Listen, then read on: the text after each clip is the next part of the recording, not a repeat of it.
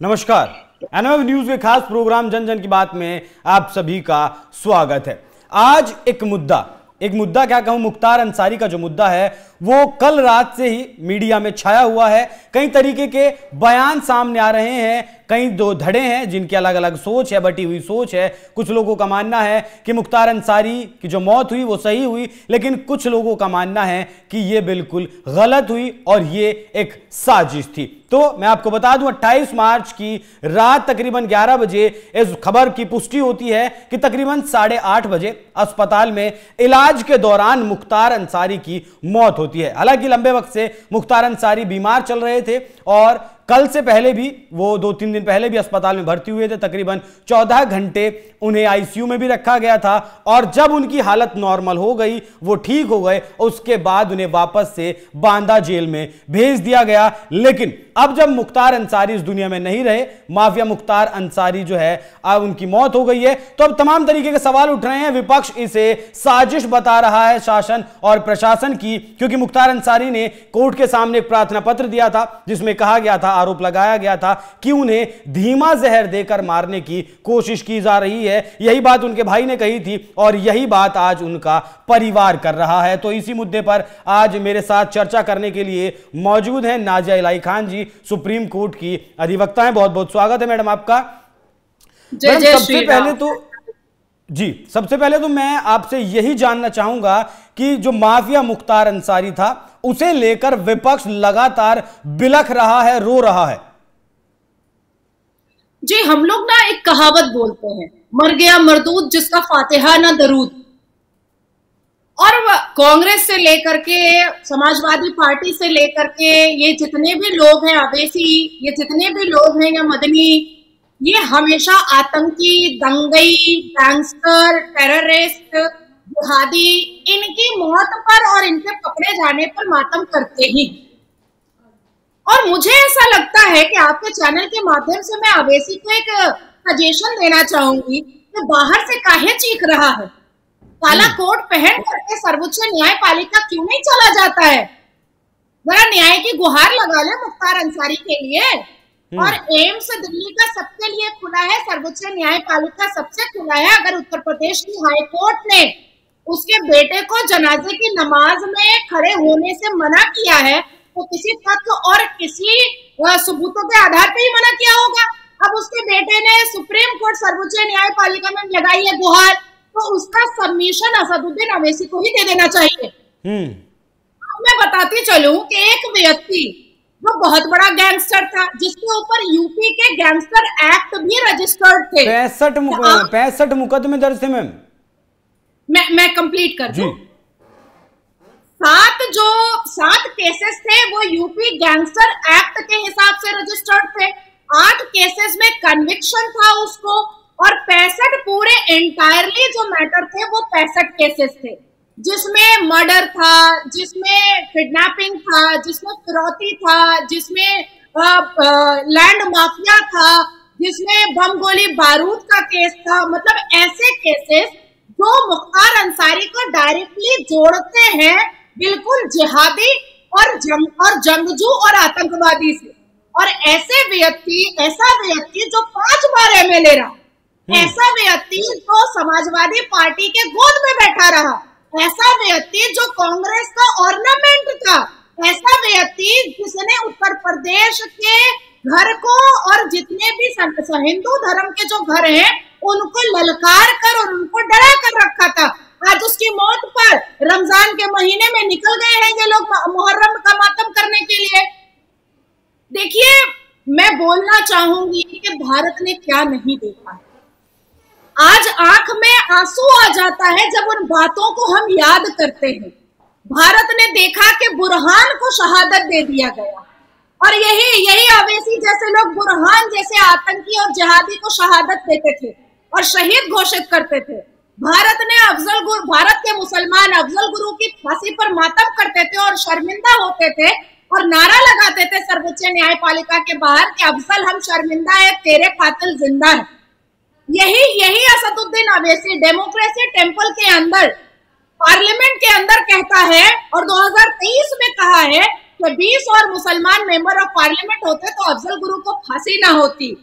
अजमल कसब जैसे आतंकी और टेररिस्ट पर जिसने हज़ारों लोगों की जान ले ली, जिसने कई माओ की गोद सुनी की, जिसने कई कई महिलाओं के संदूर उजाड़े, कई कई बच्चों को अनाथ किया उस अजमल कसब पर कांग्रेस की सरकार ने मेरे और आपके टैक्स के पैसे तीस करोड़ रुपए खर्च किए और जानबूझ करके कांग्रेस की सरकार ने उसको मुसलमान पब्लिक प्रोसिक्यूटर दिया, मुसलमान वकील दिया गया ताकि उसके जज्बात को वकील समझ सके। वाह रे वाह, कांग्रेस की सरकार। कमलेश तिवारी की हत्या करने वाला उसके लिए जमायतुल हिंद ने तिजोरी खोल दिया।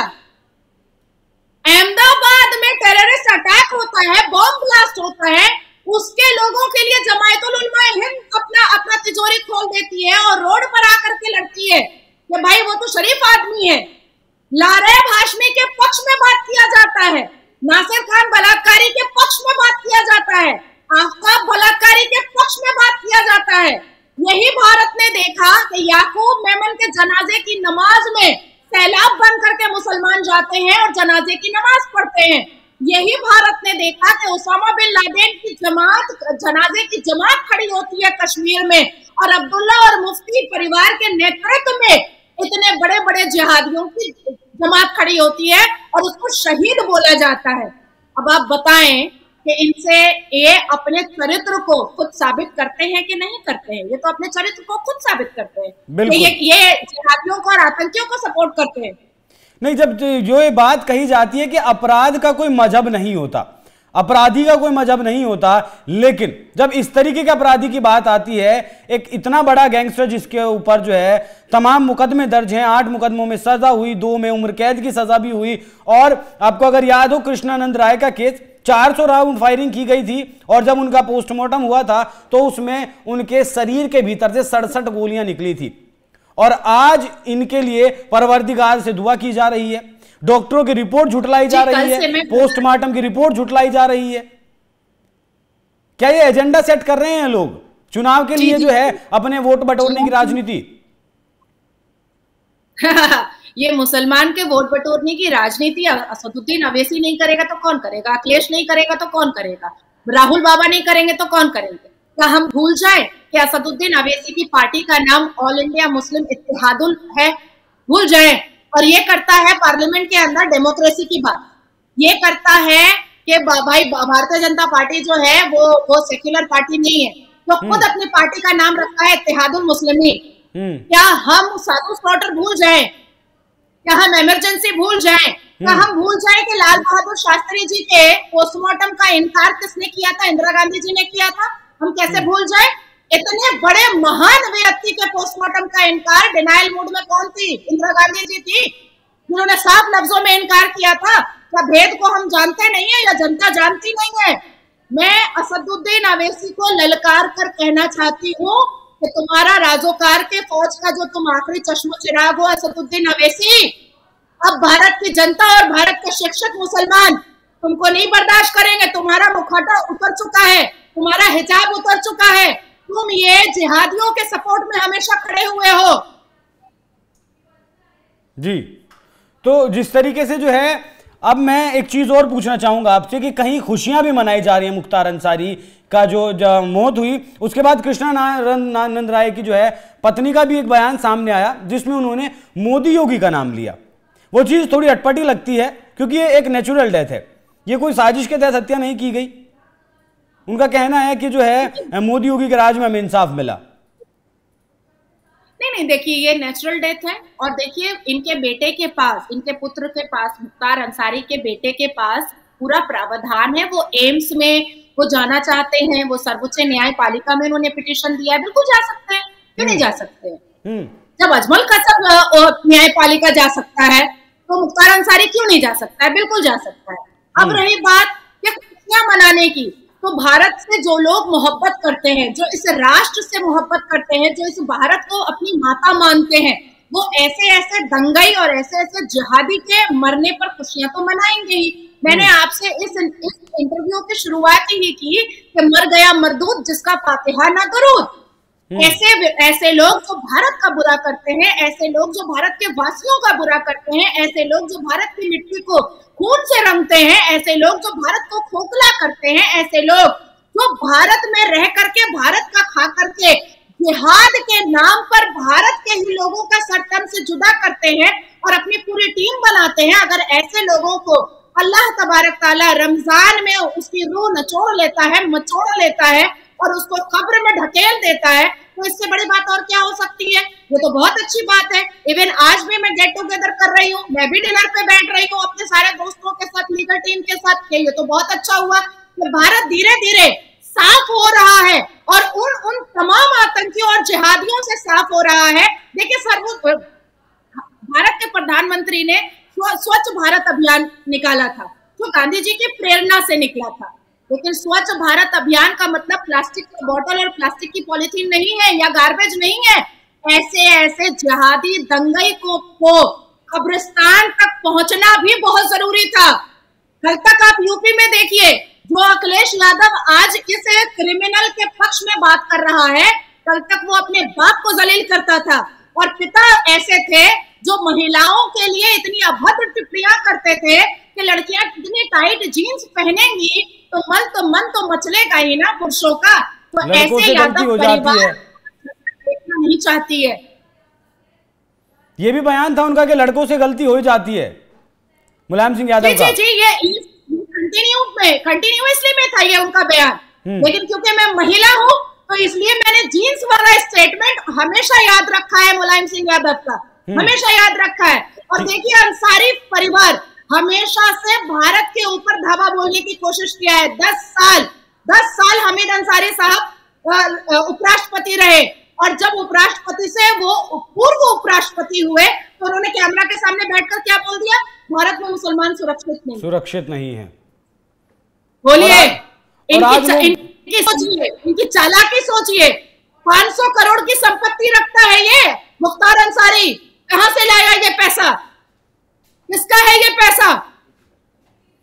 और लोग दुहाई दे रहे हैं नाजिया जी, कि जिस परिवार से, जो इतना रसूखदार परिवार रहा है, जिस परिवार से ने देश को उपराष्ट्रपति दिया शहीद दिया, स्वतंत्रता सेनानी दिया, उस परिवार के जो चश्मो चिरागी कह लीजिए, मुख्तार अंसारी को न्याय न्याय नहीं मिल रहा है। जो लोग अन्याय के देवता रहे हैं वो लोग आज न्याय की बात कर रहे हैं कोर्ट में जाने की बात कर रहे हैं हाई कोर्ट से सुप्रीम कोर्ट तक दौड़े दौड़े घूम रहे हैं।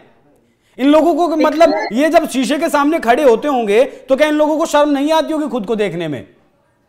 देखिए लोकसभा इलेक्शन बिल्कुल इलेक्शन कमीशन की तरफ़ से घोषणा हो चुकी है। फ़र्स्ट नॉमिनेशन हो चुका है सेकंड नॉमिनेशन होने वाला है 24 घंटे के अंदर। मुसलमान वोट बैंक की राजनीति कांग्रेस हमेशा से करता आया है सतहत्तर साल से। अखिलेश यादव की सरकार ही टिकी थी उत्तर प्रदेश के मुसलमानों से।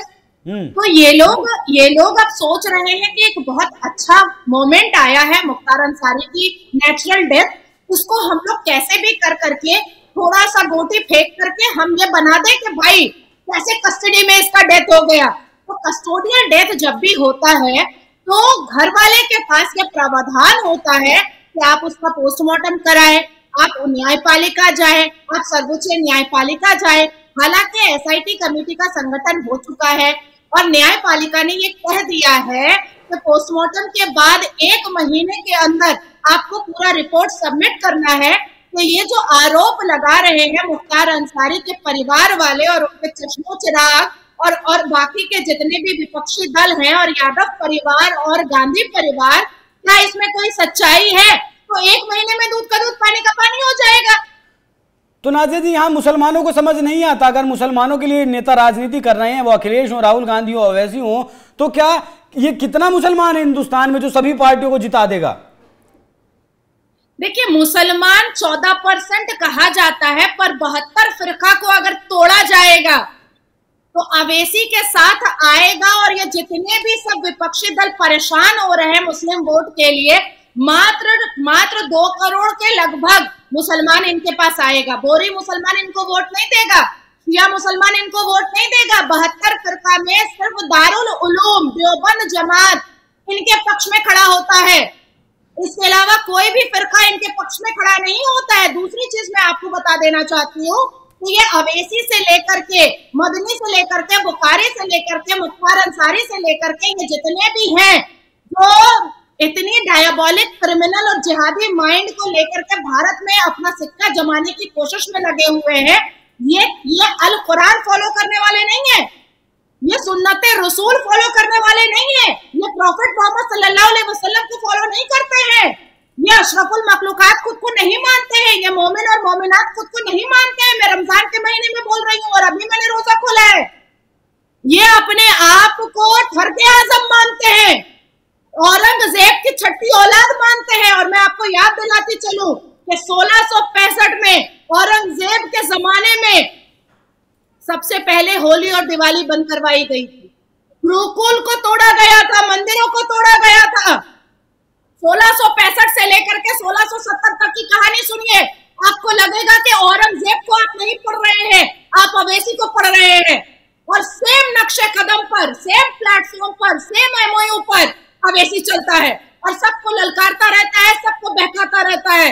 मुसलमान युवाओं की ज़िंदगी बर्बाद करने का सबसे बड़ा ठेका अवेसी ने लेकर के रखा है।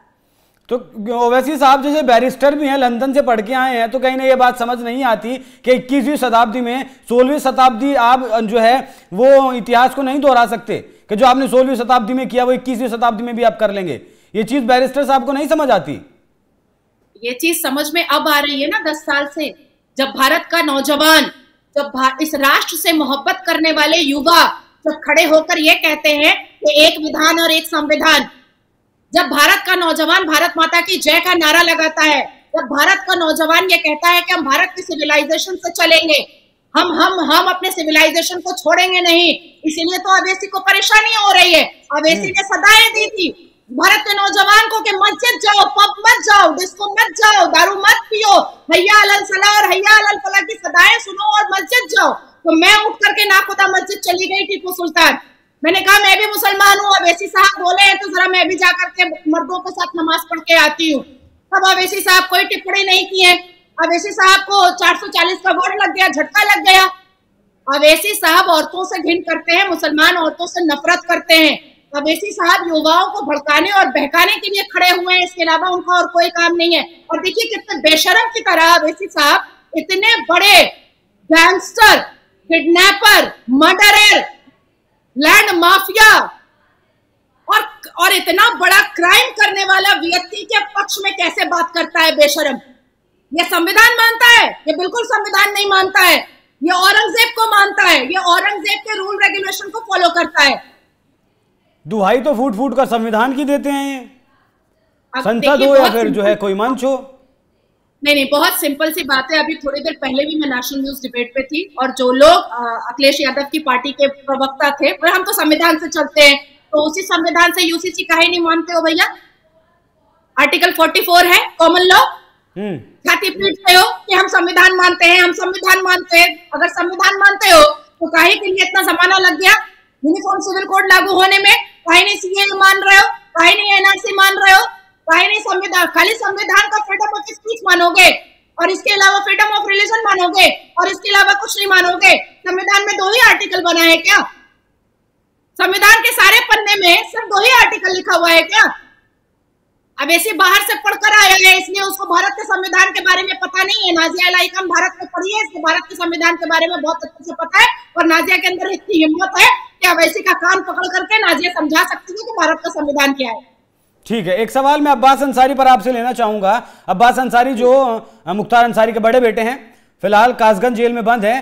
तो उनका एक बयान है 2022 के चुनाव से पहला। वो आपने भी देखा होगा, जब वो कहते हैं उसमें कि मैं अखिलेश यादव से बात करके आया हूँ और कह के आया हूँ कि सरकार बनने के बाद कम से कम छह महीने तक ट्रांसफ़र पोस्टिंग ना करें, क्योंकि हिसाब किताब आमने सामने से करना है। उसके बाद आज वही अब्बास अंसारी, पहले हाईकोर्ट जाते हैं वहाँ से इजाज़त नहीं मिलती है फिर सुप्रीम कोर्ट जाते हैं वहाँ से अभी तक मेरे पास सूचना नहीं है कि उन्हें इजाज़त मिली या नहीं लेकिन सूत्रों का ऐसा दावा ज़रूर है कि वो सारी रात जेल में फूट फूट कर रोए कि एक बार अब्बा को देखने तो दीजिए कम से कम। यहाँ इनको न्याय याद आता है। देखिए अन्याय करने वाला आज न्याय की भीख मांग रहा है। तो एक कहावत नहीं याद आती है कि सौ दिन सुनार का और एक दिन लोहार का? जी।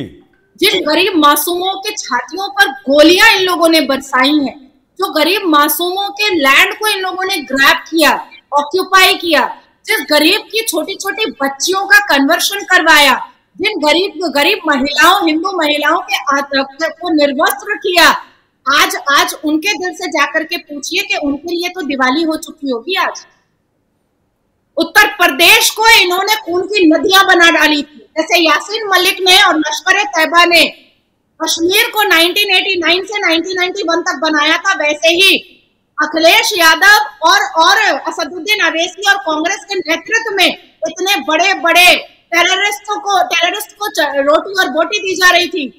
और ये जो आँसू है ना, ये मगरमच्छ के आँसू है, ये 700 करोड़ की संपत्ति के लिए आँसू है, इसके अलावा कोई आँसू नहीं है, कोई हमदर्दी नहीं है। जी। एक जो है आखिरी सवाल मैं आपसे लूँगा कि जो ये नेता हैं तमाम नेता पूरे विपक्ष की बात करूँगा मैं इसमें आपसे सिर्फ़ ओवैसी की बात नहीं करूँगा क्योंकि पूरा विपक्ष इस, इस वक्त जो है फूट फूट कर रो रहा है कि मुख्तार अंसारी आखिरकार कैसे चले गए। एक जो है एक संदेश उनके लिए और एक संदेश उस जनता के लिए जो मातम मना रही है मुख्तार अंसारी के जाने का और इसे साजिश बता रही है बदला लेने तक की बातें की जा रही हैं।